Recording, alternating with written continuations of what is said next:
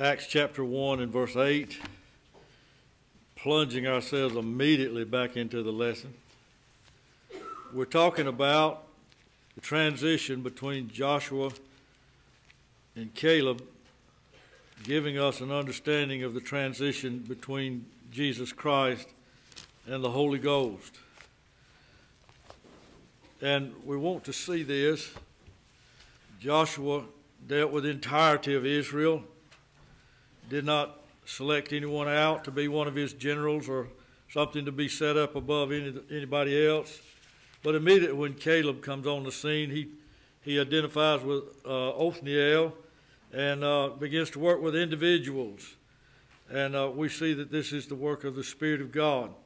The Lord Jesus Christ, our Joshua, in chapter number 1 and verse number 8 of the book of Acts, the Acts of the Holy Ghost rather than the Acts of the Apostles, uh, says, But ye shall receive power, that is a double portion, uh, actually. After that, the Holy Ghost is come upon you, and ye, and, and I don't think that I understood this correct for many years. Ye, I thought he was talking about the church, shall be witnesses unto me.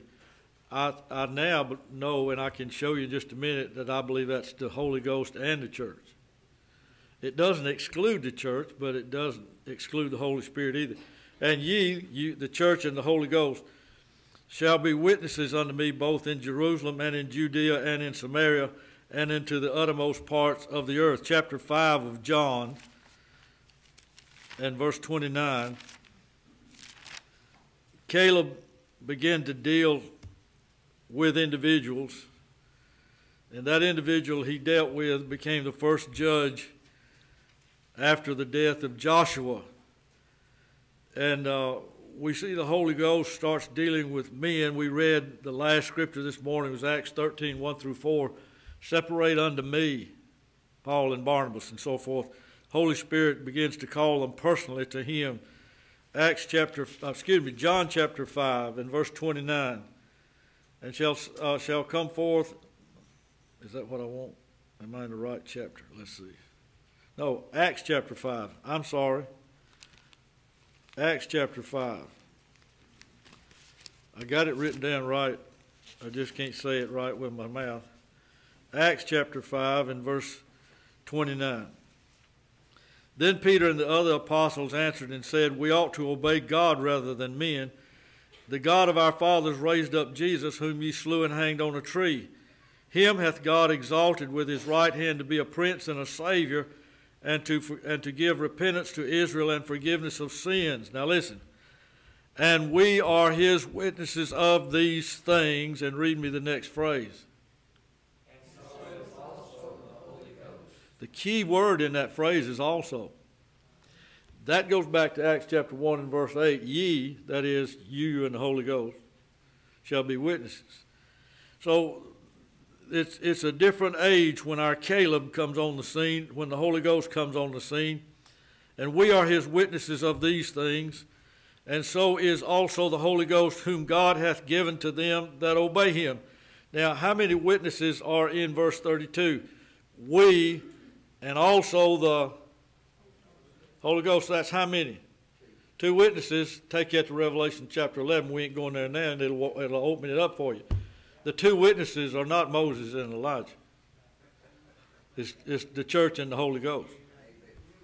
I got Bible on it. They got Scofield. I got the Bible. Fooey on them. All right. All right. John, now John chapter 15. John chapter 15, verses 26 and 27. Who are the two witnesses? The church and the Holy Ghost. No wonder we can't open up the Old Testament. We got the New Testament all screwed up.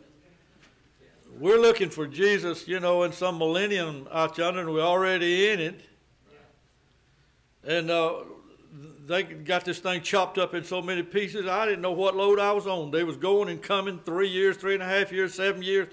Man, I rapture, rupture, I don't know. Man. And then finally I just said, I'm throwing all that stuff out and I'm just going to believe only what I read in the Bible. So I just started reading the Bible, crying out to God, and God said, "It's you know, it'd be a whole lot simpler to stand on the ground and believe the truth than to climb a tree to believe a lie. It was a lot of work to believe all that stuff they had. But the Bible just says the two witnesses are the church and the Holy Ghost. All right, John 5, excuse me, 15, 26. John 15, 26.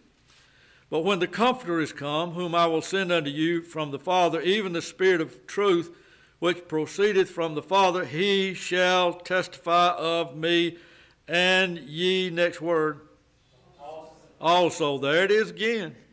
And ye also shall bear witness because ye have been with me from the beginning. And that wasn't just to the disciples you've been to me with me from the beginning of my earthly ministry. That's all of you. You've been with him from the foundation of the world that the Father chose you in him. Isn't that good? Man, it just preaches. It just busts open like a ripe watermelon. 2 Timothy 3.16. I want to ask you a question when you get there. You ready? How much Scripture is being talked about? All. All Scripture is given by inspiration of God. It's the Word God breathed. All Scripture is inspired of God. The it comes, the inspiration comes from two words the word God, found in John 3 3 and 5, and the word bloweth where he wills. The word bloweth, John 3 8, is the other word. So it's a God breathed, God blowing book. All scripture is given by inspiration of God, and dear soul, all scripture is profitable. And one of the things that God's doing for us on the backside of this cow pasture every service is reopening the scriptures to us and showing us the things that we've all been taught all of our lives. I'm not teaching you anything out of any Bible. Excuse me, I'm not teaching you from any different verses in, than what you've heard other, uh, under other pastors all your life. God is just opening up the spiritual meaning of it to us.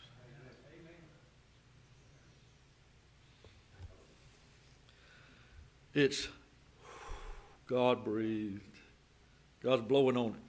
All scripture is given by inspiration of God, and all scripture is profitable for doctrine, it's uh, profitable for reproof, it's profitable for correction, it's profitable for instruction in righteousness, that the, the man of God may be perfect and accomplished unto all good works, thoroughly furnished unto all good works. That's all you need is the God breathed book. And the first thing that uh, Caleb does is conquer the city of the book. Now, uh, y'all remember Luke 24 because I'm fixing to do something and I'm going to try to come back to that. But a lot of times I lose that when I come back. Luke 24. All right, Second Peter, while we're over here, Second Peter chapter 1 and verse 20. 2 Peter 1 20. I want you to read one word for me. Knowing this, next word. First. first. What was the first city Joshua took? Was the city of the book. I want you to know this first. That no prophecy, now don't get all tore up about that word prophecy. It don't mean telling of future things. It means setting forth of that which God has put for us, preaching to us, declaring to us. Uh, forthtelling is as much prophecy as foretelling. Did you get those words? Fourth, F O R T H, telling is every bit as much prophesying as foretelling. I'm going to tell you something before it happens. That's not all there is to prophecy. But forthtelling, telling telling you where you are right now in this day and age, is every bit as much of prophesying as those who wrote this book and those who prophesied what would go on and told us that the days of uh, at the end of the age would be as the days of Noah. Somebody's going to have to be down here at the end of the days of Noah telling you that, that it is the day of Noah. listen, I'm not telling you anything that you haven't already known. But the Lord has given us an understanding of which way the Redeemer's going in our day, and we're going with him. I ain't following all this other modern day fad. I want to walk with God. It ain't going to do me no good to preach on Calvin's sermon on whatever. How many hairs in that horse's tail over in that Revel- in the book of Revelation? If it's not relevant to our day and what God's doing in our day. Please don't get me wrong. I ain't again Calvin and, and, and, and Spurgeon and all them guys, but they're so, you know, I didn't come to church in two horse wagon, and Spurgeon did. This ain't the same day. It's, you know what? Gas in my granddaddy's day was 35 cents a gallon. He thought it was awful when it went up to 39 cents a gallon. It'll be $5 for Memorial Day, they said. It's a different day and age, folks, and we need to know what God's doing in our day. So, forth telling, declaring to you, bringing forth the vividness of the Scriptures by the Holy Ghost is the work of the two witnesses the church and the Holy Ghost. All right, let's read on. That no prophecy of the Scripture is of any of, of, is of its own private interpretation. For the prophecy came not in old time by the will of man. But holy men of God spake, and I might say only as they were moved, and that is borne along by the Holy Ghost. So it's amazing to me that that big old four syllable word over there that I have a hard time trying to pronounce, the hidden word meaning is the city of the book. And that's the first city that Caleb is said to conquer and to establish a base from where they were going forth. Now, Luke 24, right? Luke 24. Luke 24.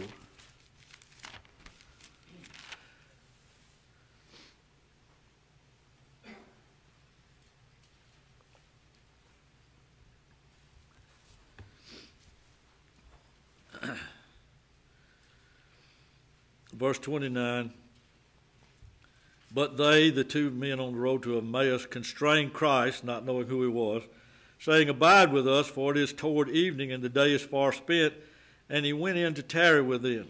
And it came to pass, as he sat at meat, at food, at, at the meal with them, he took bread and blessed it, and blessed God, that which was on the inside come out. That's just like the Mount of Transfiguration. You can't hide Jesus. I mean, when he starts breaking bread and blessing it, everybody's going to know who he is. And uh, it, he said he took bread and blessed it and brake it and gave it to them, and their eyes were opened and they knew him, and he vanished out of their sight. And they said one to another, Did not our heart burn within us? Dear soul, when the gospel is being preached by the Holy Ghost, you get heartburn. While he talked with us in the way, and while he opened to us the scriptures. What scriptures did he open? Didn't have nothing but the Old Testament. What was it that, no, who was it that they saw when he opened the scriptures? The breaker of bread. And son, once you get that, the preacher dissolves. He vanished. And you went on your way rejoicing. Because now it's yours. Amen? All right. He opened to us the scriptures, verse 39. All right, but jump on over here to verse 44. This time he takes it and eats the fish. That kind of sounds good right now, anyhow, don't it? Good old fish fry. And he took it, verse 43, and he took it and did eat before them. Luke 24, 44. And he said unto them, These are the words which I spake unto you while I was yet with you They memorized his words in their head, but now the Spirit of God is going to come to, number one, open to us the scriptures in verse 32. And listen, these are the words that I spake unto you while I was yet with you, that all things must be fulfilled which were written in the law of Moses and in the prophets and in the Psalms concerning me. That includes the whole Old Testament. Now listen. Then opened he their understanding that they might understand the scriptures. In verse 32, he opens the scriptures to their hearts. But in verse 45, he opens their hearts to the scriptures. This old God's name is Word. In the beginning was the Word, and the Word was God. To know God is to know the Word, and to know the Word is to know God. But you can't know either one except God the Holy Ghost, who is the only true witness. You can't believe anybody except the Holy Ghost. You should prove every word that's preached to you by the Holy Ghost. If it don't set right within you and the Holy Ghost, quit saying amen. Get out of there. Or if he's a brother in Christ, go get him and set him down and help straighten him out. Who was that straightened out old Apollos? Ananias and was it Sapphira? Who, who, was that?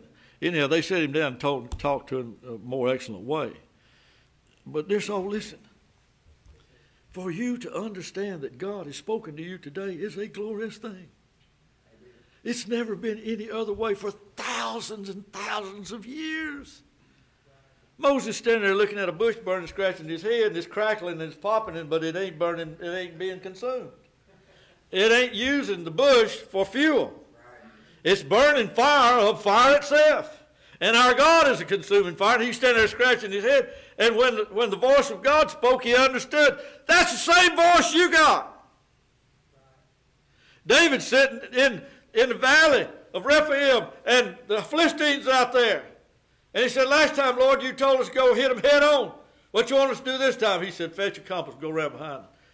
And he said, Watch out for that sound of a go in the ankle chains that's in the mulberry trees. He said, I'm going to get the armies of heaven marching with you, so we're going to whip everybody. We're going to whip the demons and the Philistines. You don't have any different voice. That's your voice. God is preparing you the city of the book. He has raised this place up. It is for God to manifest himself to you. And I want you to understand the one who's saying this to you is very scared when I talk like that because I don't want you to think that, that, that, that I'm some Pharaoh pyramid builder. I'm going to use you and build a monument to my own self. No, dear soul. I, I want to be a Moses shepherd, lead you out of this mess that we've been in all these years. I am your sole servant. I am the helper of your joy. I know that you have faith, and by faith you stand. And I know, dear soul, that I need to listen to you as much as you listen to me because you say some glorious things to me to encourage my soul. When I come down out of this pulpit, it's a blessed thing. It's amazing the shepherd gets the wool. Ain't that good? He don't get the hide. And I'm sick to death of preachers skinning sheep. I hate it. Listen. Then opened he their understanding that they might understand the scriptures. And you read on down, we got to get back into our subject, but that it's just beautiful the way the first thing that he conquers is is is uh is that city that means uh, the, the, the city of the book. Now, Othniel, I'm not going to drag y'all all the place looking for Othniel. I'll just flat out tell you. Uh, his name means force, like in Air Force force, F O R C E, force of God. Anytime you see E L in a name, Bethel, house of God. You know, El means God. So he's got Othniel, and Othni, best way I know how to say it, is force of, and El is God. So he, here comes the force of God conquering the city of the book, and and and the Holy Spirit comes and moves upon him, one who is of uh, who who is of Caleb's kin. Now you're going to have a hard time with Othniel and who he is. In in Joshua 15, 17, it sounds like Othniel is the son of Kenaz, and Kenaz is the brother of Caleb, and so that makes Othniel his nephew, and he marries him off to his daughter. So he marries, so Othniel marries his cousin. But if you read Judges 113 and Judges 3 9, you're going to find out it says Othniel, the brother of Caleb, not his nephew. I'm just telling you that. The law didn't forbid even those two to marry, but you have to be careful how you read it here because it may not be Caleb's, in fact, I don't think it was Caleb's nephew. I think it was Caleb's brother. Based on Judges 1 13 and Judges 3 9. And we read you Judges 3 9 earlier. But the thing about it is this the first one who was in whom it was manifest that he was a warrior for God in his glory under the anointing of the Holy Ghost was somebody that was kin to Caleb. There was a, uh, I guess I better show this to you. Matthew 13 55. There was a brother. Matthew 13 55. Sometimes I don't feel adequate to look at stuff. I'm scared I'm going to mess you up. But in Acts, excuse me, Matthew 13 and verse 55, there's a listing of the half brothers, that is, Mary birthed them, Joseph was their father. Jesus was birthed by Mary as well, but his father was the Holy Ghost. And one of them's name was James.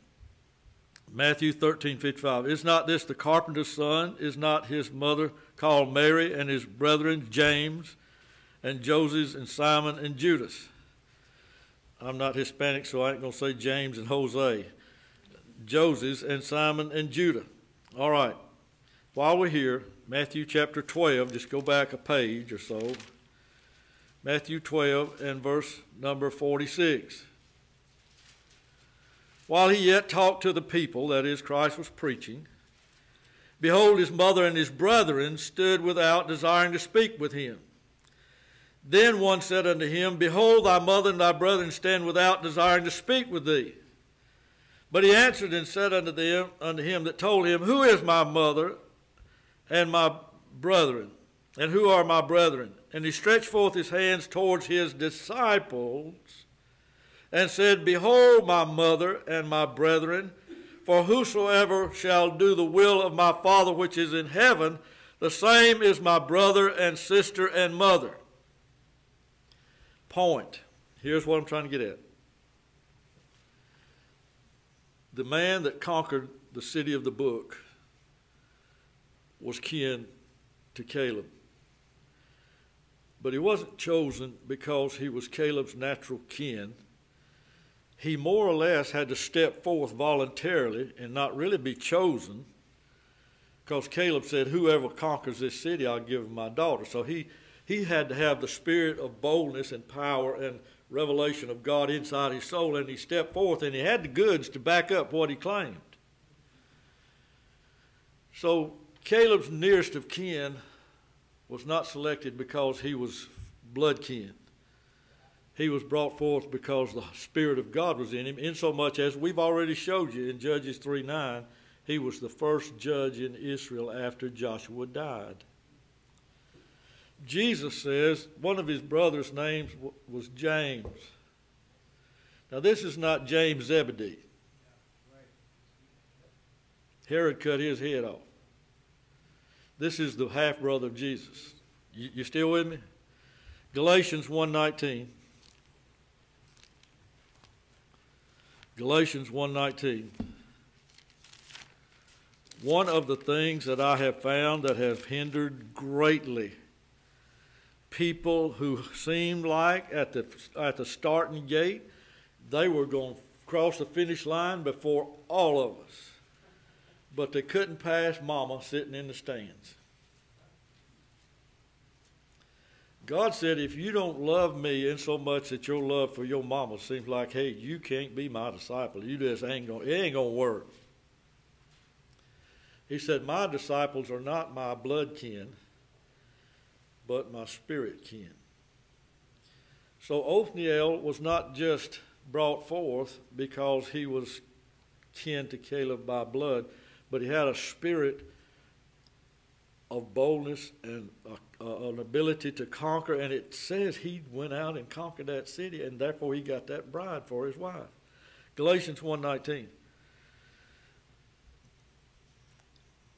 Okay, 18. Then after three years I went up to Jerusalem to see Peter and abode with him 15 days.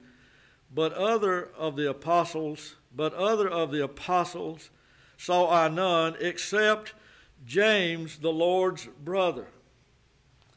James now comes to be known as uh, a man in authority like an apostle who is the Lord's brother. Drop down to chapter 2 and verse 9. And when James, Cephas, it's another name for who? Peter, and John, who seemed to be pillars, perceived the grace that was given unto me, they gave to me and Barnabas the right hands, the right hands of fellowship. All right.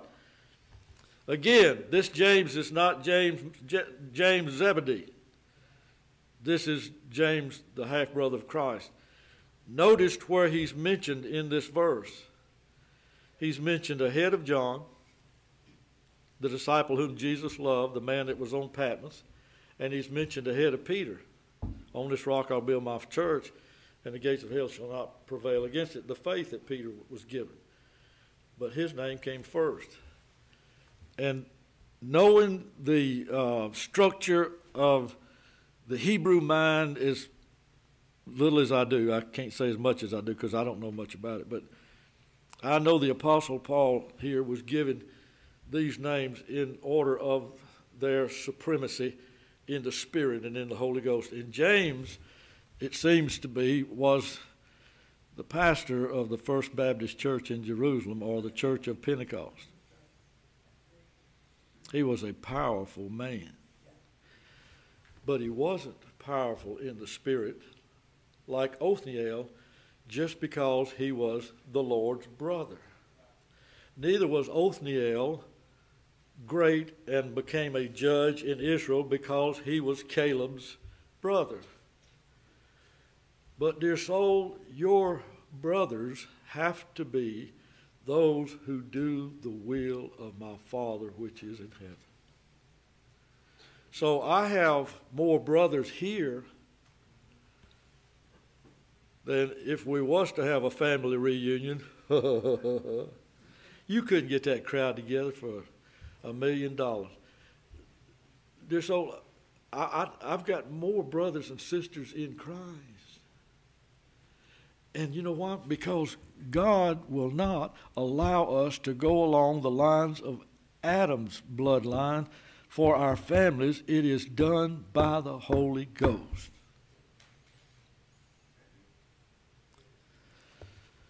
So you just well get ready to answer questions to your natural family as, why do you go over there, that church? There's plenty of churches around here you pass right by. You could be going here. And why don't you come to family reunions anymore? You, you say you can't miss church and you won't even come to family reunions. You're going to have to start giving account as to who your family is. And that's one of the witnesses that's brought forth. And you can't hardly explain it to them. It's like a, a butterfly trying to explain to a caterpillar how it feels to fly. You can't do it. They got to go through the metamorphosis themselves. But nonetheless, there is the situation the city of the book is conquered. It becomes rich to us. It's the God breathed book. It's not just religion, it's, it's, it's a spiritual revelation. It's, it's a glory attached to this word. The letter of the law killeth, it's the spirit of the word that giveth life. And remember, there's a difference between Bible and Scripture and the Word, the person, the truth. You can have the Bible and the Scriptures and not have the Word, the person, the truth. But you can't have the Word, the person, the truth without having a great love for the Scriptures and the Bible. Never seen it any other way.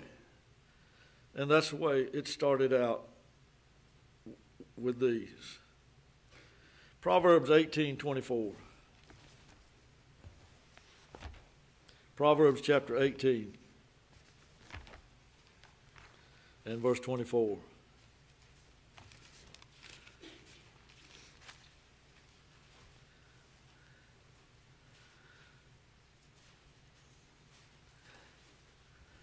A man that hath friends must show himself friendly.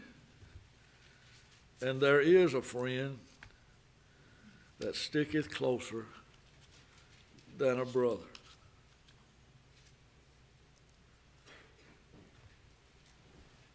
It's amazing how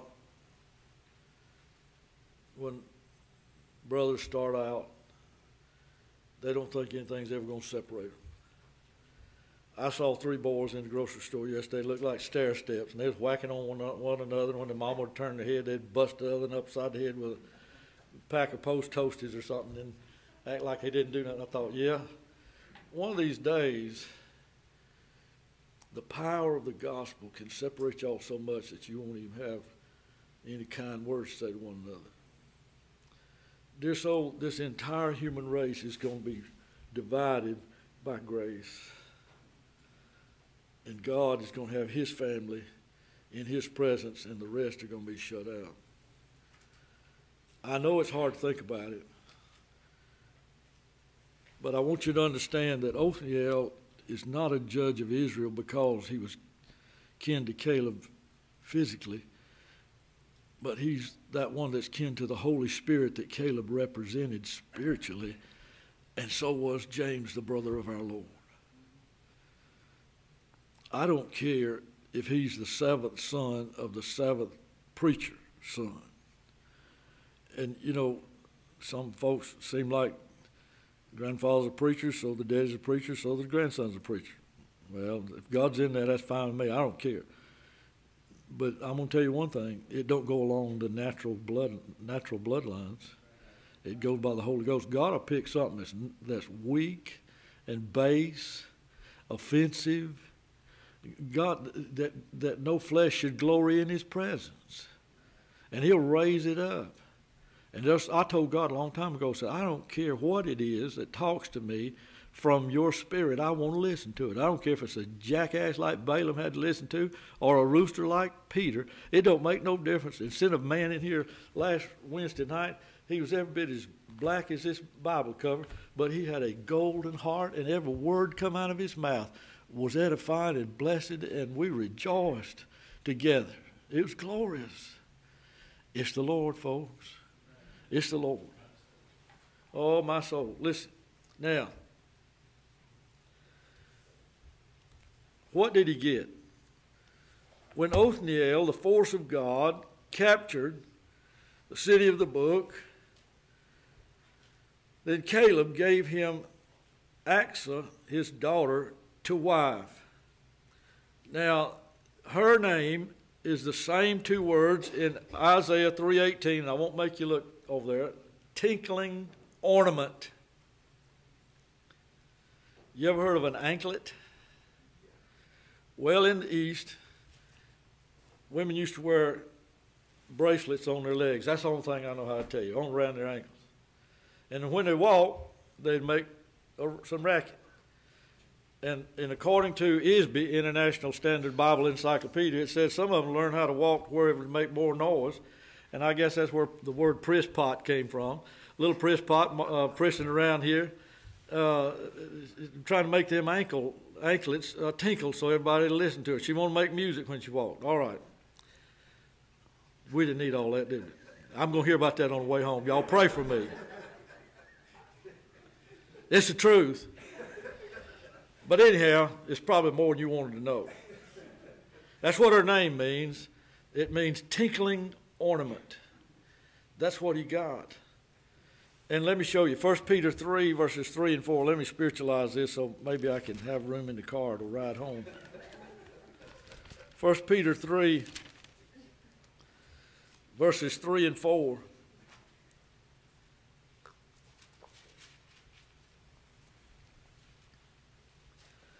Whose adorning, let it not be that outward adorning. That's all you need to hear. Wearing of gold. But let it be the hidden man of the heart in that which is not corruptible even the ornament, the tinkling ornament, ornament of a meek and quiet spirit, which is in the sight of God of great price. This old God's true church is a beautiful woman. She stands with her husband. She backs him up everything he says. Jesus Christ, her head, her master, her Lord. She's not looking for, and ladies, I ain't talking about anything you got on or what you look like today. I, before God, I'm trying to get you to the spiritual things. The reward of the force of God, Othniel, was a chaste, spiritual, glorious, spiritually glorious, beautiful handmaiden she was, she was, uh, uh, uh, complimented him. These two became one spirit. That's what the church is to the Holy Spirit. He talks, Paul talks about being uh, like, like a nursing uh, mother to you. And it's, it's amazing to see the intimacies and the tender revelations of the oneness of the Spirit to the church. A lot of it you can't talk about because the world's so vulgar today. They can't. They their ears are like garbage cans. You can't talk to them about it. But read Song Solomon. I rest my case. But she was one that, when she walked, it made music. And this, oh, when you walk before God, the eyes of God Almighty are upon you. You walk in the Spirit, you shall not fulfill the lust of the flesh. And you don't just have on those external ornaments of formal religion, and it's just not duty that you bring before your husband, but it is devotion.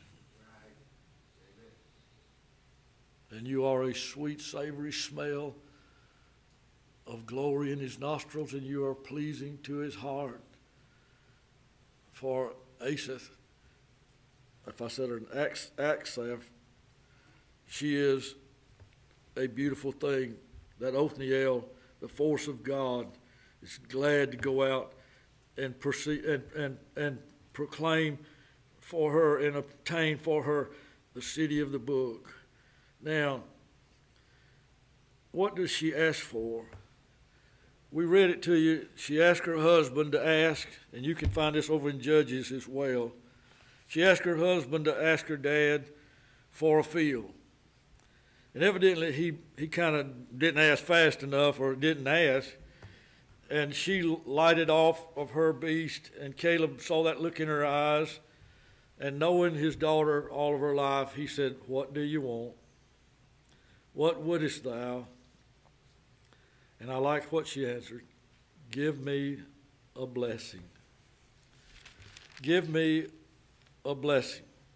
Now, Caleb knew how beautiful that was because in chapter 14 and verse 13, and Joshua blessed him, that is Caleb. He had recently been blessed by Joshua. He had come back from, from absolute obscurity no mention of his name at all for all these campaigns, and then he shows up. He may or may not be received. he may be slandered and there could be jealousy and nobody want to admit who he was. But that's not what happened. The blessing included an acknowledging of him of who he was in the Holy Ghost. The one thing I like about God's true church is when you come to your own, your own receive you. And it's not like when Jesus came to his own and his own received him not. But unto the pure, all things are pure. You don't need to tell me what mistakes you made in your life. Did you not hear Brother Gary this morning teaching us? If God has forgiven you, don't talk to me about that. Talk to me about the Lord. That's we're going on. Forget those things which are behind. I don't care what happened to you in the past that you feel like I ought to know about. Well, if you're going to get along with me, you got to know what. I'm, no, no, no, no. Because if you tell me all that, I got to tell you all my stuff. And I, I don't want to tell you all my stuff. It's worse than your stuff. But the blessedness of that oneness of spirit, and it, it's like music. The walking of the peoples of God, the tinkling ornaments, the beauty of the whole thing is the music that plays as she walks. It's, it's like a symphony orchestrated only by the Holy Spirit as all the peoples of God are walking and tinkling in the Holy Spirit, those tinkling ornaments of pure gold, of the meek and quiet spirits. And, and they are orchestrating an anthem of praise to the glory of Almighty God. And the crescendo gets higher and higher and higher until Jesus can't stand it and he comes back and gets us. Ain't that good? Amen. Glory to God. And he asked her, What do you want? And she said, I want a blessing. Well, first of all, explain to me what a blessing is in your mind two chickens in every pot, a Cadillac under every carport. I got land. I'm not worried about real estate. Give me springs of water. Would you be interested to know? And let's finish out with this Zechariah chapter 4. That word springs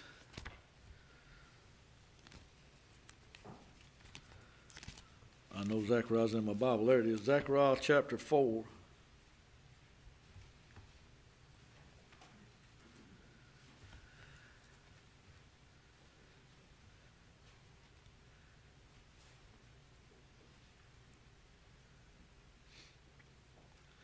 And verse number 2.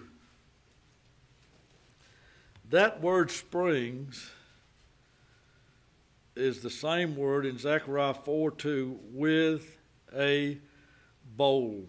B O W L. And, and said unto me, What seest thou? And I said, I have looked, and behold, a candlestick all of gold with a bowl upon the top of it. It's the same word in verse number 3. And two olive trees stood, uh, and two olive trees by it, one upon the right side of the bowl.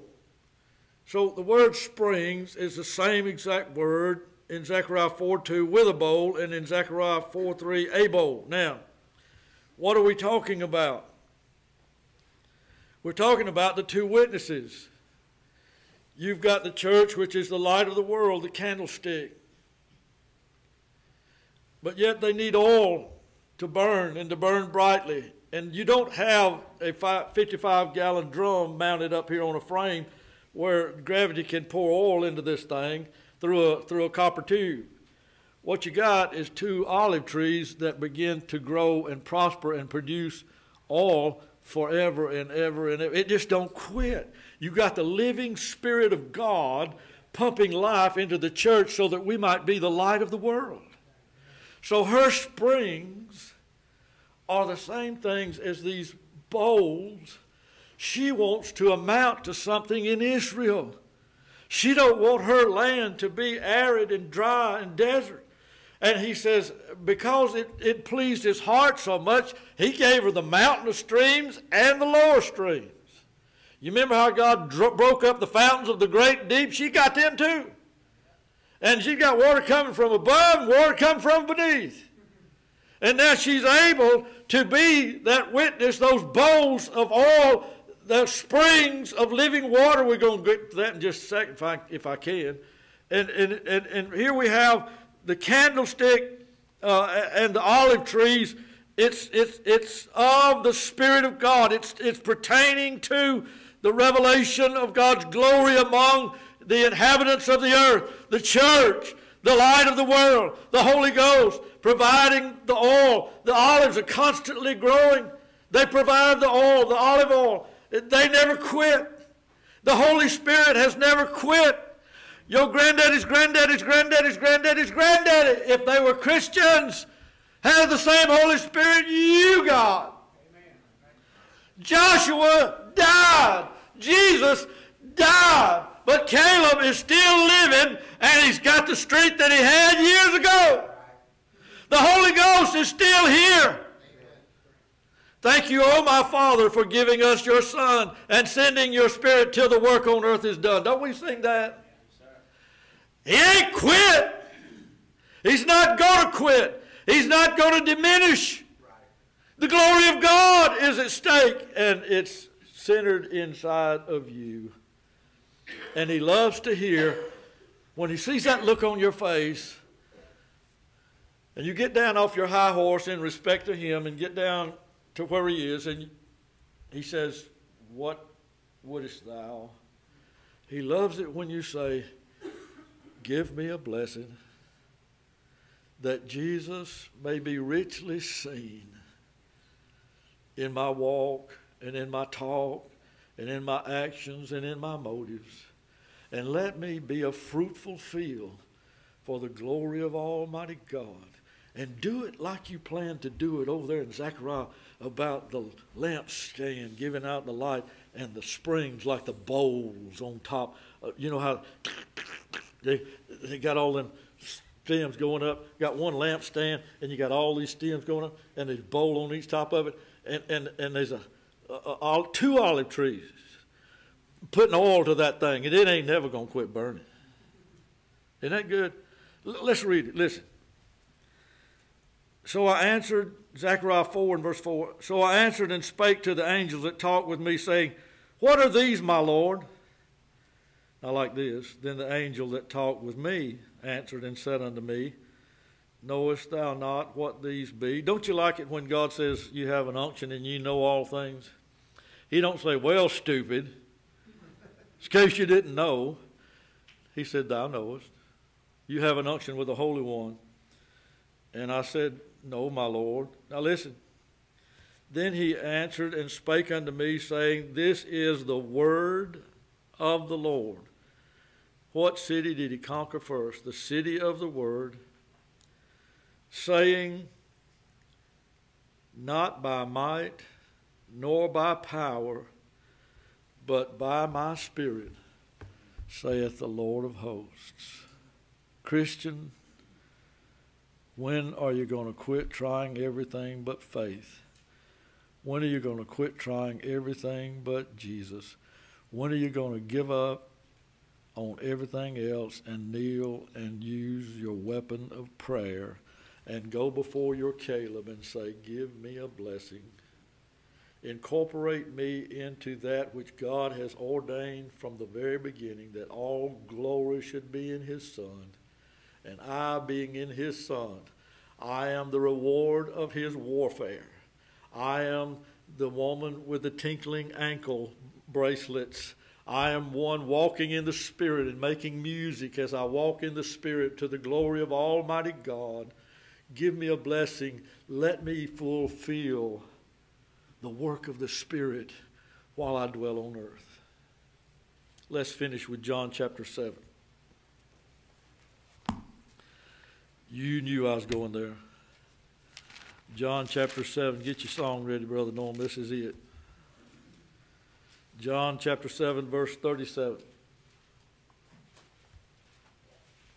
You understand there was processions, cymbal playing, singing, all kind of stuff. This great procession in, in all of this that was going on. It was the last day, that great day of the feast. John 7 37, there was a lot of noise, and all of a sudden the last note was played and dead silence. Then Jesus spoke.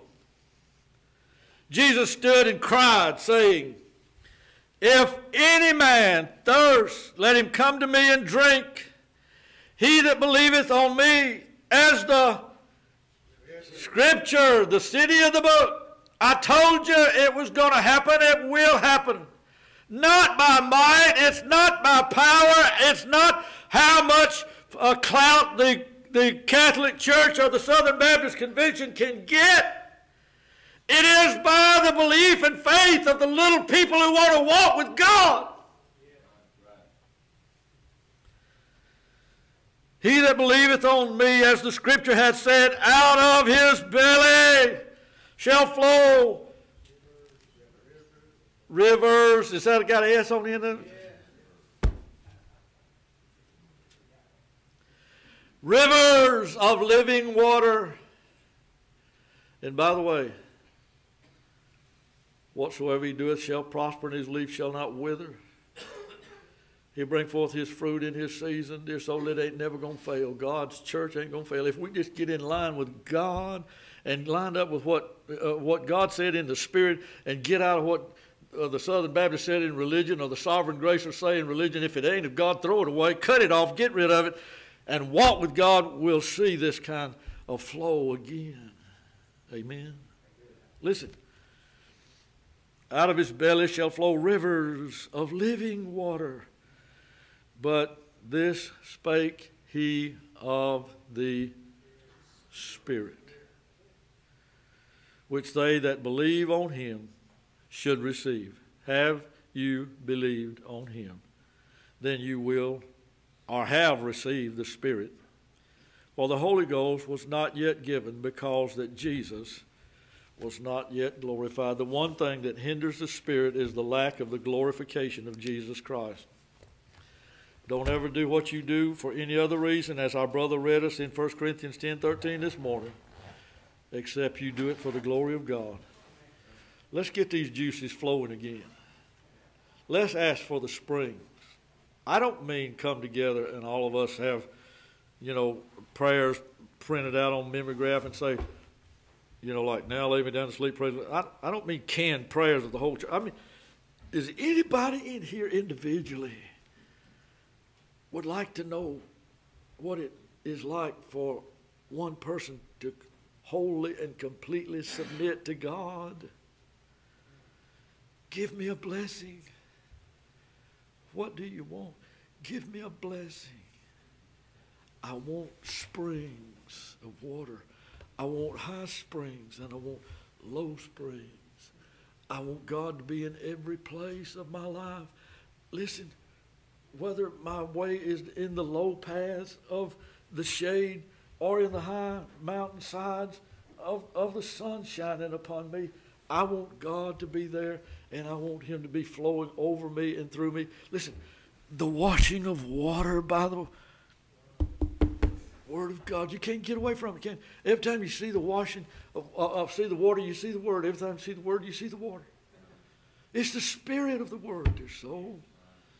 Let's let's read. Let's get on our faces, get on our knees, and read our Bibles let's, let's read our Bibles in meditation before God and ask the Lord, Lord, what are you saying to me in my life?